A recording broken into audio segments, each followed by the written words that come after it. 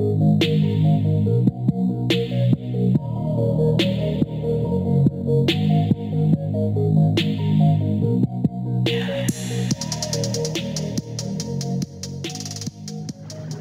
folks, this is my London session trade. I went in during price action while it was inside of the Asian range. And I'm going to keep the price very basic. Nothing, no indicators.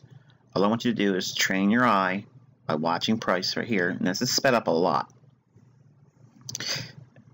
And I want you to see as price trades down into optimal trade entry. I don't want you to look for the Fibonacci.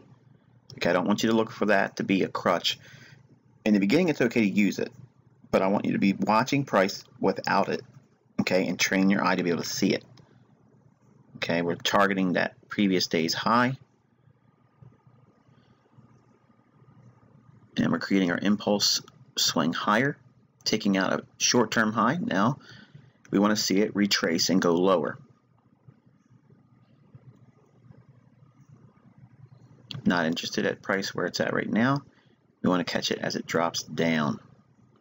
And I'm going to highlight the order block and the optimal trade entry at the same time when they converge right there. Watch. Watch when it hits that level. Bang.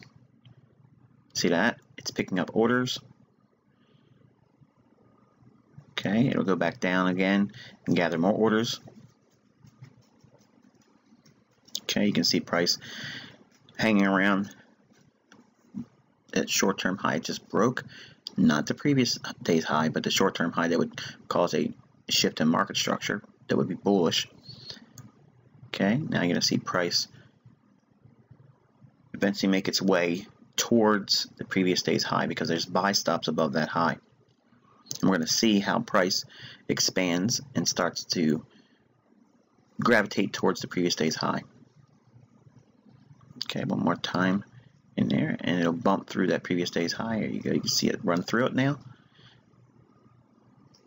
Okay, nice little pop through that. Now, by itself, that's not a lot of movement. That's not a lot of run on price. But it's the same thing done on higher time frame charts. So what we're seeing here is the element of price action and the ebb and flow, another expansion through the previous day's high. Okay, and that in itself right there is enough for a intraday scalp. That that's all that would be necessary. So looking at what price is done here, now obviously it's not a lot of movement. It's not a great deal of magnitude. No one's getting rich off of you know 20 pips or so.